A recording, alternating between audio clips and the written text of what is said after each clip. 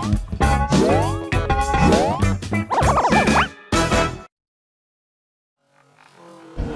Siamo a Serrungarina, alla Sala dei Presepi, per il terzo evento di Terre Creative. Terre Creative nasce come progetto per avvicinare i giovani dell'ambito territoriale numero 7 alla cultura del cibo.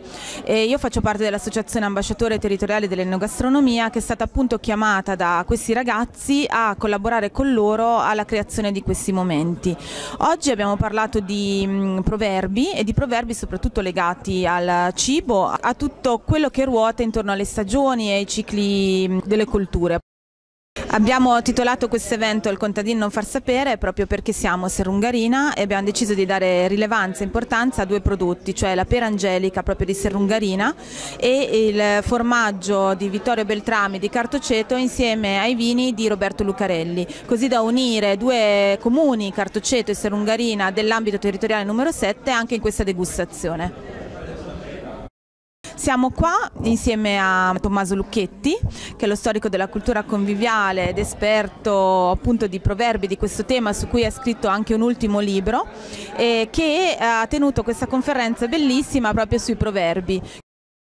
È stata l'occasione per fare una sintesi attorno a un proverbio che è tra i più antichi, quello che al contadino non è il caso di far sapere quanto è buono il formaggio con le pere. Eh, in maniera molto intelligente Sara Braccia ha costruito attorno a questo proverbio il modo di unire due tipicità del territorio identificative, la pera angelica per Sorongarina e i formaggi per Cartoceto, ma per tutto quanto questo territorio che da sempre è eccellente per quanto riguarda l'arte casearia, fin da documenti antichi nel tempo.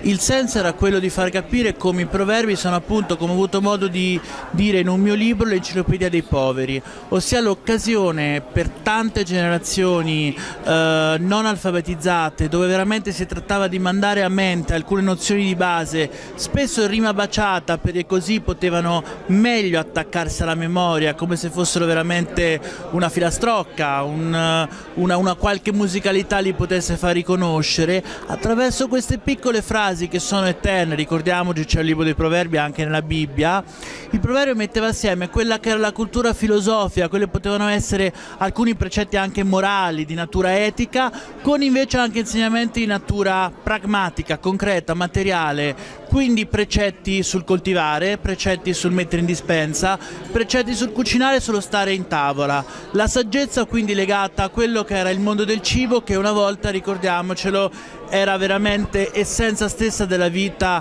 in eh, epoche in cui veramente l'esistenza era particolarmente dura, falcidiata da carestie, da epidemie, da problematiche, saccheggi, per cui veramente il vero incubo era garantire che ci fosse sempre qualcosa sulla tavola giorno dopo giorno e questi proverbi era sicuramente un insieme di saperi che provvedeva appunto a portare avanti.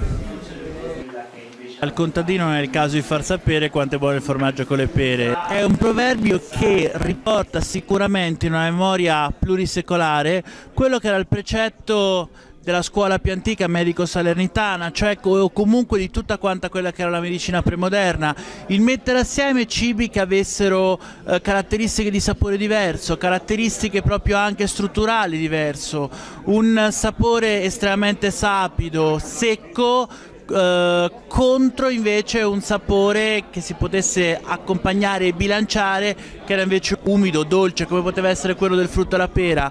Quindi era proprio la saggezza più antica uh, legata alla più antica precettistica medico-alimentare che i signori portavano avanti. Sul dire che potesse essere un'ottimale conclusione per il pasto e questo sapere appunto viene passato in questo modo al mondo contadino che si appropria di quello che era un precetto alto e lo fa completamente proprio. Dalla tevla ental se mei, si la bocca non sa de furmei.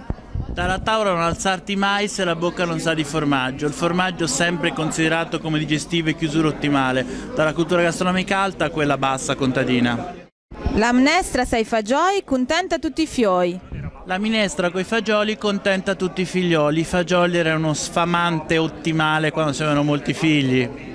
La polenta è la man di puret. la polenta la madre dei poveretti. Polenta sia di mais che prima ancora di altri cereali era veramente il sostentamento primario, la pietanza onnipresente nelle classi contadine.